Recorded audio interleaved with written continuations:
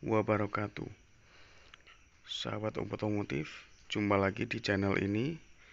Kali ini saya akan berbagi tutorial riset atau program remote Honda Mobilio Honda Jazz RS Honda Brio dan kawan-kawannya.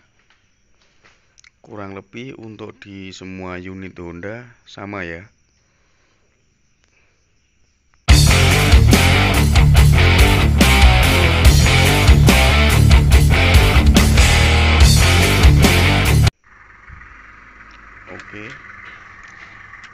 Caranya yang pertama adalah masukkan kunci kontak.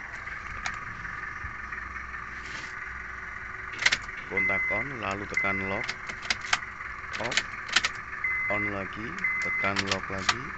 Off. On lagi lock lagi. Off. On lagi lock lagi. Unlock off. Ya. Kita coba saya.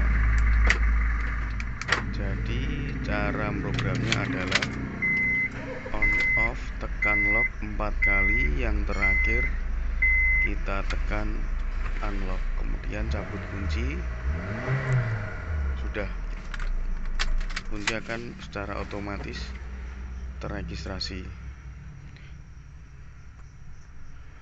remote nya akan terregistrasi secara langsung ya